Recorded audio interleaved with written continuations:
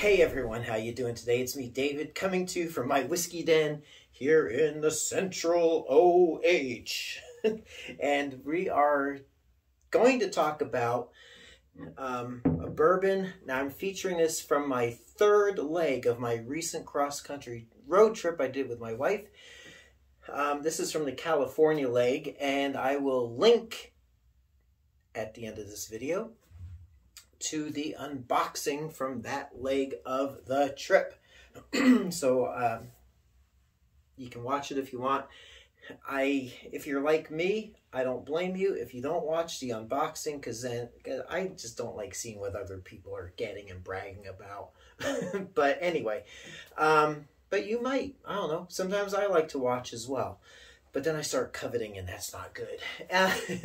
But um, now that I've got more bourbon than I know what to do with, uh, we're going to feature this one Rickhouse by Gold Bar Distillery. Um, I've got the Gold Bar here somewhere. Oh, I put it up over there. You can't see it. Um, this is out of San Francisco, and they talk about okay, so this is straight bourbon whiskey, cask finished with French oak staves, made with Hetch Hetchy water.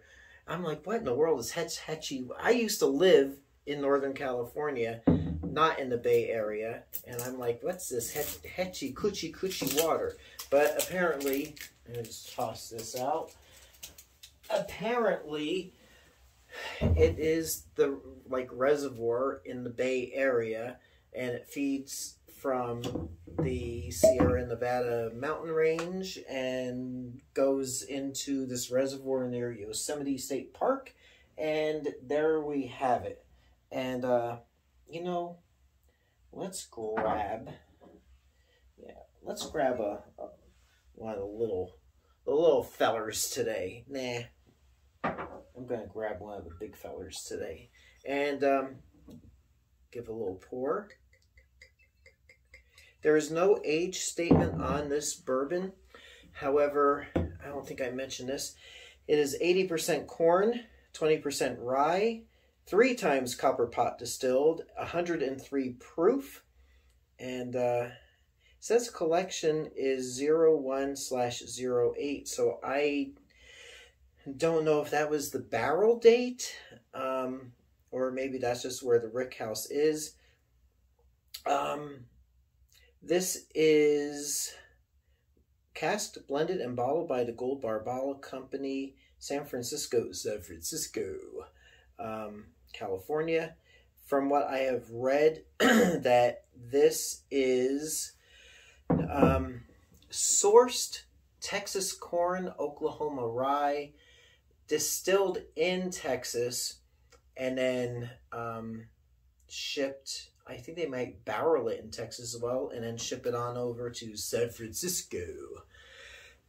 Yes. uh, every time I say that, I want to think of Sulu in Star Trek for The Voyage Home. But, um, you know, there's no age statement, but man, that is a nice dark bourbon. Um, bourbon needs to be aged at least two years to be called bourbon. This looks like it could be aged longer. Um, I don't know.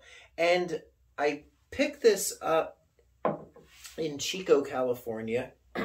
uh, at a, they have a chain out there called Bevmo, B E V M O, and uh, they were running a sale. The for the time I was there, buy one, not just the Rickhouse, but you buy buy one and they had different selections not just bourbon but you know different spirits and wines. Buy one get one for a nickel. And so i bought bought this and bought i think puncher's chance something else for the nickel or vice versa. And i'm like you know i really this bottle intrigues me. I think i'm gonna like what's in here. So um went back, bought a second bottle of this, and got another bottle of something else for five cents. You can't beat that. And I want to thank Lisa over at the Bevmo in Chico for being so dang courteous and helping a feller out, getting me set up. Even though I live here in Ohio, set get me set up with a Bevmo loyalty card so I could take advantage of that promotion. So um, here we go. Smells really nice. Um, it smells sweeter than I thought it would be, but that could be because it's 80% corn. Corn is sweet. I kind of like the fact there's no malted barley in here. smells really good. Um,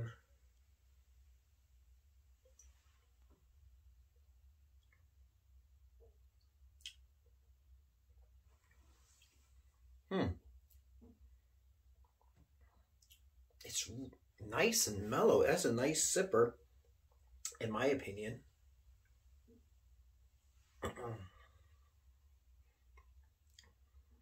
yeah, sweet, corn sweet with a hit of spice.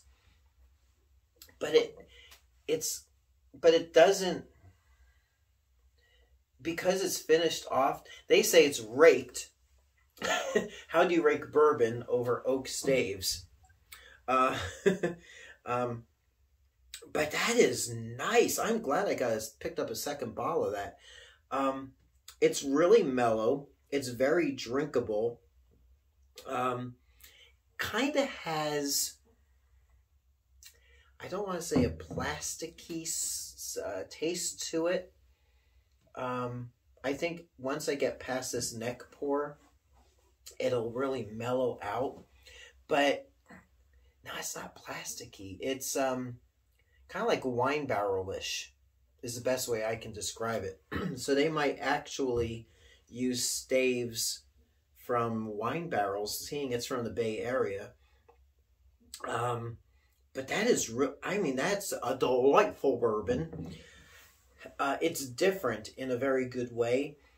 And I do kind of get, I have this pet peeve thing going on where it's like, you know, I like something that tastes like bourbon, but I don't want something that tastes like bourbon, like run of the mill bourbon. $35 or so is between 35 and 40 bucks for the bottle. Um, it is something I did not see in my travels outside of California, so Gold Bar might actually just cater to California. Actually, I did see it in Nevada in Vegas. Um, so if you do by chance, if you are on a road trip or you know you can pack something in your check-in luggage and you're in California and you're a bourbon enthusiast, I would get that. This would be the perfect thing to have, I would say with like a pasta or Italian dinner is probably you know, or of course your classic steak dinner or prime rib. It's elegant. It's really nice. Um, and I, you know, let me just see if I can analyze it because you know me, I don't analyze all that stuff. Yeah, corn sweet, got that good rye spice to it, but then man, there's like a sweetness right at the finish on that last gulp of it. Um, little caramelly, little bit of like a red wine, like a Cabernet Sauvignon, um, which is really not. I like that. Um, again, not your run of the mill bourbon. Um, and I thought it'd be kind of like Angel's Envy, but it's not.